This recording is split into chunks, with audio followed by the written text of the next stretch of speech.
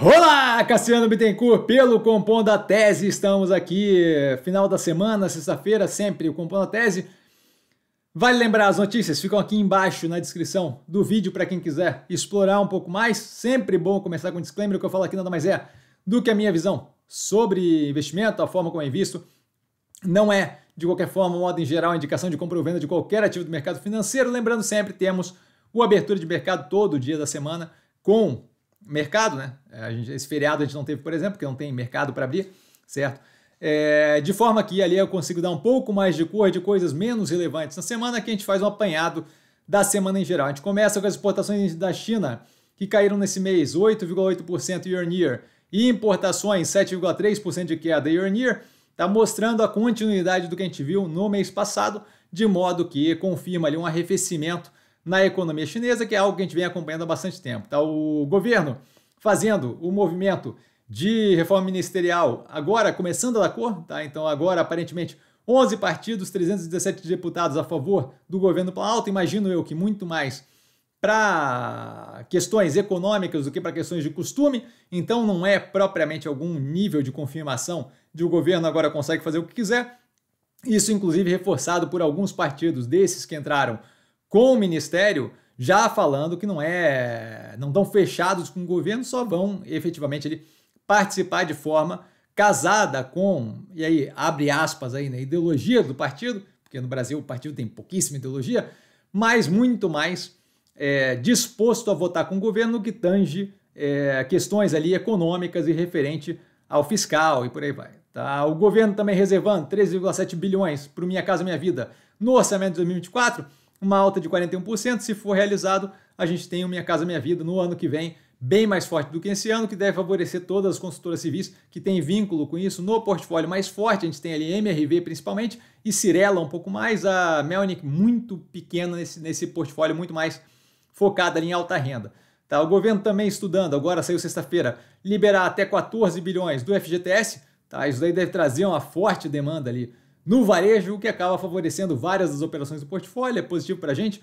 Ah, Cassiano pressiona a inflação, a gente tem que ver como é que vai entrar no encaixe ali da inflação como um todo, mas não acho que uma pontada dessa pressiona estruturalmente a inflação, então talvez dê algum nível de demanda mais forte no curtíssimo prazo, mas nada que afete a inflação estrutural. Tá, o Pix atingindo novamente mais um recorde de transação diárias, um 152 milhões é, de transações, 152,7, diga de passagem. Tá? Então, assim, melhorando e continuando a consolidação desse método de transferência financeira e pagamentos como um, um método ali muito central para a economia brasileira, o que é bem positivo, mas afeta negativamente teses das adquirentes aí, né, as operações de maquininha. E por último aqui no geral, tá o número de investidores da B3 batendo recorde novamente, a consolidação do mercado financeiro de renda variável brasileiro, tá? Cada vez mais com participação dos CPFs. Falando de operações que não estão no portfólio, a Infracommerce caindo fortemente ali com o novo aumento de capital, a análise feita na quarta-feira no canal, então já disponível avaliando, incluindo esse follow-on no que a gente tinha visto no trimestre anterior, que a gente já tinha analisado a Infracommerce, se não me engano, no primeiro trimestre. Então, bem explicado lá. Como é que eu vejo nesse momento? Eu vejo como o movimento como um todo uma melhoria médio e longo prazo, especialmente com a recuperação do resultado, explicado no canal. Tá? A Vitro é a maior é, líder no mercado de educação à distância no Brasil, tá? com a Uniaselv e Unicesumar, essa é difícil de pronunciar, tá? indo, migrando da Nasdaq para a B3, é a primeira vez que isso acontece, algo que a gente vai observar e vamos ter análise da Vitro assim que isso acontecer, tá? uma vez que a operação vem para cá, a gente começa a avaliar ali junto com as de educação, que a gente já tem aí três no portfólio, Cruzeiro do Sul Educacional, Edux e a Cogna. Tá? Passando aos ativos do portfólio, a gente tem a Via lançando a oferta primária, mais do que comentado no canal, vídeos e shorts e reels e o Diabo A4. Tá? Então, assim, muita informação no canal. Tem um BEM explicando a estruturação do follow-on, super tranquilo com médio e longo prazo da operação.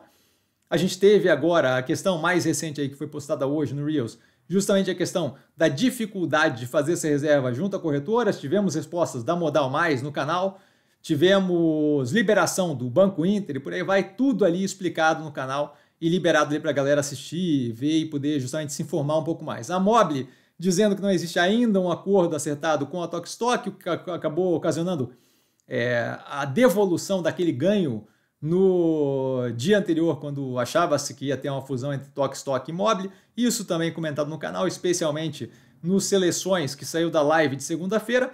Tá? E para fechar aqui as ações do portfólio, a gente tem a Minerva captando 900 milhões de dólares é, por nota de crédito fora do país.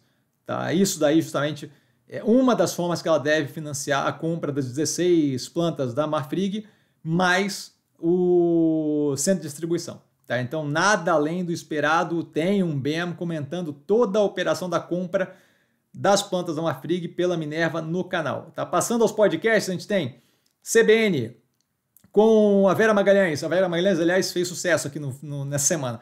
Comentando a ideia do Lula de botar o voto do STF como secreto, tá falando inclusive que é inconstitucional, explicando profundamente aquilo.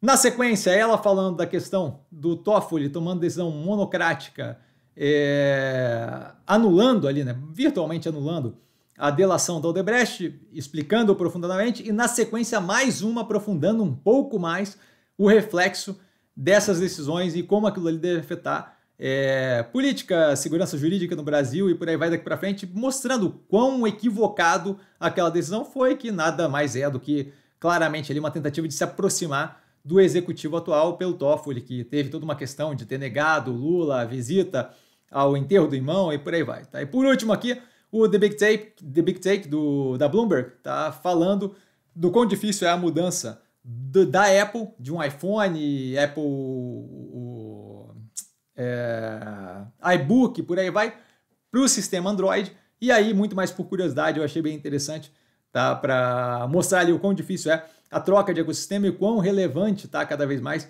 a questão da existência do ecossistema nesse tipo de, de questão, né? A questão do Google ali com Google Maps e por aí vai, e a questão da, da Apple do outro lado. Tá aí, dúvida! Dúvida sempre no Instagram, arroba vestir com sim. Só ir lá falar comigo, não trago a pessoa amada, mas estou sempre tirando dúvida e vale lembrar que quem aprende a pensar bolsa opera. Como mero detalhe, um grande beijo a todo mundo. Amanhã a gente tem aí uh, o início daquele final de semana com várias análises. Tivemos Infracommerce e uh, Porto Seguro nessa semana e a gente deve fechar aí com mais várias análises durante o final de semana. Precisando de mim, como sempre, estou sempre no Insta, tá, galera? Valeu, beijão!